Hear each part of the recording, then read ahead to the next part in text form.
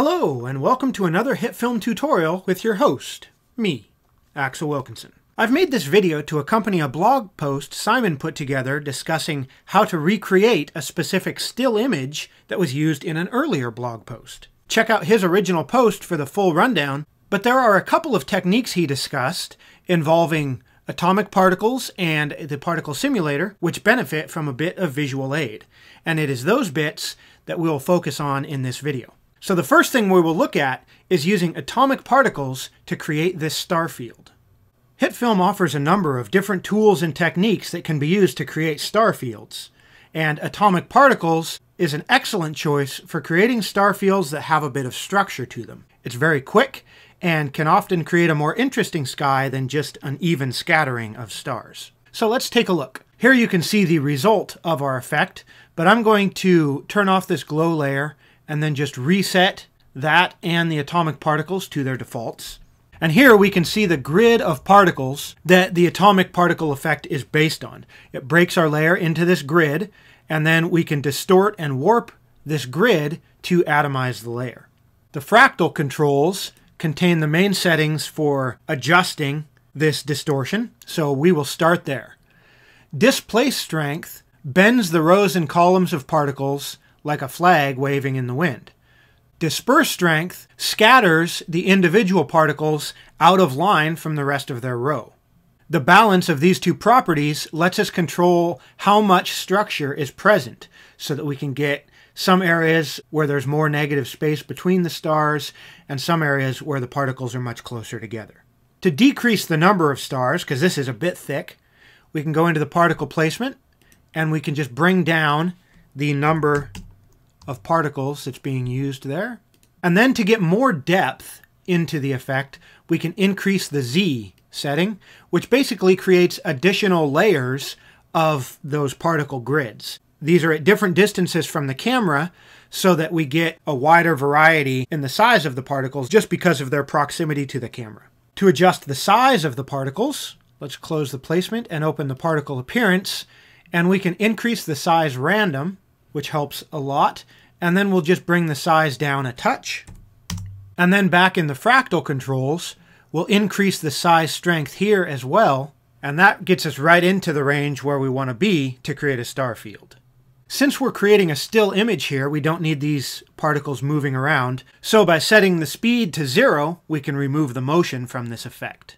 Now to add a little bit of glow, to finish off this star field look, we'll use the glow effect. I'll turn that back on, and let's set the blend mode to add, which just makes the effect a little bit more dramatic, a little bit brighter. Then we'll bring the threshold right down, increase the intensity quite a bit, and then you could leave it there. I'm going to adjust the radius just to soften that blur a little bit more. Let me turn that up a bit. And there is our star field image. Of course, you can easily modify the exact result you get just by adjusting these two settings. You can get a wide variety of different appearances, which makes atomic particles a very fast and powerful way to create images of this sort. Once the starry sky is ready, Simon repurposed the techniques from an earlier tutorial on creating Andrew Kramer's star effect to make a planet for our image. With the planet ready, we can turn our attention to creating these arcing white lines. To create the web of curving lines representing the interconnectedness of the world here, we will use particles. The general concept is to use a large circular emitter and send mobile emitters upward in a cone shape. The particles coming off these mobile emitters will create the trails that we see here, and then we'll use a force to pull them back downward and create the curves. So, to start with, I'm just going to add a new particle simulator to our timeline, and then I'll go ahead and hide the existing particles, and I'll hide these other layers as well, just so that things stay snappy. And in the emitter, let's set the shape to circle, and then in the orientation, We'll rotate that 90 degrees so it's facing upward instead of toward the camera. And then increase the radius of that circle until it's just a bit wider than our frame.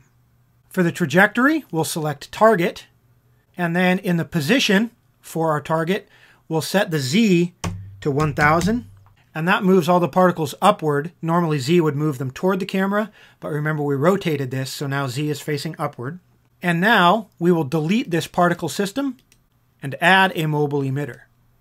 By increasing the life, we can get more trails present and we'll increase the speed as well to make those trails a bit longer. We don't need to see these red particles which represent the mobile emitters themselves. So in the appearance for the mobile emitters, just set the alpha to zero. And now we can go into the particle systems that are being generated by these mobile emitters. Set the speed of these particles to zero so they don't move and we'll get straight lines. Then increase their life to make those lines a bit longer. We can adjust their scale to thin the lines out a bit, get them closer to the look that we're after. All right, now there's a bit of gap between the particles in those lines, but that's okay. We can adjust that in the general controls just by increasing the number of particles that are being emitted. I'm not mentioning the exact values I'm using on a lot of these controls just because I want you to experiment to see what you think looks good. Plus, you can see my settings in the video if you really want to. All right, now we're going to add a force, clicking the new force button, and we'll set its type to attraction and immediately things get pretty wonky. What's happening is all of our particles are being pulled around by this force and being pulled in toward the center of our frame, which gives kind of a cool look here, but it's not really what we're after. So first let's reduce the strength of this force by quite a bit to, so it doesn't pull things around as severely. But what we really want is for the mobile emitters to get pulled downward, but for the trails to stay put. So back in the particle system for our mobile emitter, in the general controls, we can turn off affected by forces, and suddenly we get a sort of dome of these particle trails being created there, which is what we're after. Let's bring the entire layer downward until it sits properly over our planet. So I'll just turn our planet back on for reference, and then we can just bring this downward until it's sitting nicely over the planet there. And then we can use the lifetime panel to finish off these particle trails. All right, so we want to make sure that we have our particle system selected, not the mobile emitter. Select the particle system, then we'll move into the lifetime panel. And in the alpha, we want to create a gradient so that these particles fade in pretty quickly and then fade out. So we'll add a couple of control points at either end where it's faded out, and then we'll move the center point up quite a ways so it fades in quickly and then fades out gradually. And then we're going to do a very similar thing in the scale. We'll create a new point at the beginning, set that to zero, create a new point at the end, set that to zero, and then we'll select this point where the scale reaches 100 and we'll move that closer to the start so that it ramps up quickly and then gradually fades out. Because we're creating a still image, we can now pick the frame that we want to use to create our final picture. I like the look of this frame at six seconds, but you can pick whatever frame you prefer. With the arcs complete, Simon then went on to create some glowy spheres using auto light flares and then colorizing the entire image by means of a grade layer using an assortment of effects. Jump over to his blog post if you want to read more about the specific techniques he used. It nicely demonstrates how even though HitFilm is designed for working with video, it can be handily implemented to create still images as well. Thanks for watching.